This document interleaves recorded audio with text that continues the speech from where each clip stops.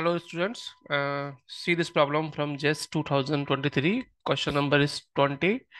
So here you have been given a input voltage and it is said that the amplitude of input voltage is twice the Zener breakdown voltage. So basically this is a your Zener uh, Zener clipper circuit. Okay, so it will clip the some portion of the uh, your input signal.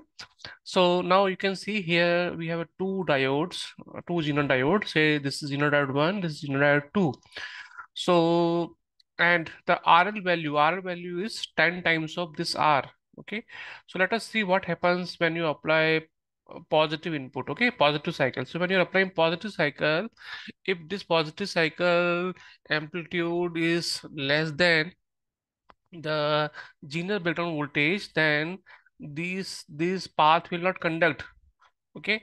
This diode one will be forward bias so it will not acquire require any voltage. It will become short circuit but in order to operate this or conduct this second Zener diode, you require input voltage equal to or greater than this breakdown voltage of this diode. Okay, so until you don't apply the voltage, which is half of the amplitude, okay, this path will not be conducting. So current will move from R to RL. Now RL is 10 times of R. So most of the voltage will be uh, dropped here across the load. So, so your input, your output signal will be same like an input signal.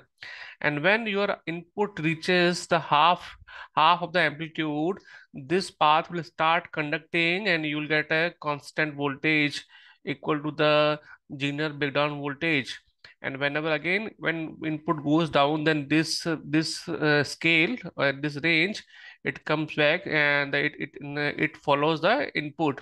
Similar thing happens in the negative cycle. In negative cycle, your diode 2 will be forward bias and diode D will be in reverse bias. Okay, again, if the amplitude is uh, less than the Zener breakdown voltage, this path will not conduct and all the current will flow here and your output will be exactly same like your input, exactly same input. And after once it crosses the uh, half value okay and then the output will become output, output will become negative and it will be equal to equal to the uh, Zener breakdown voltage. So this is the option. This is the correct correct option for given input with these with this clipper circuit. Thank you very much